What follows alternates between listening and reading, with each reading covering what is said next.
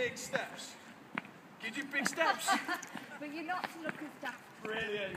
And then we're going to use the islands. We're up the stepping stones. Oh. Oh. Oh. Huge one. Lots of balancing. Oh. Oh.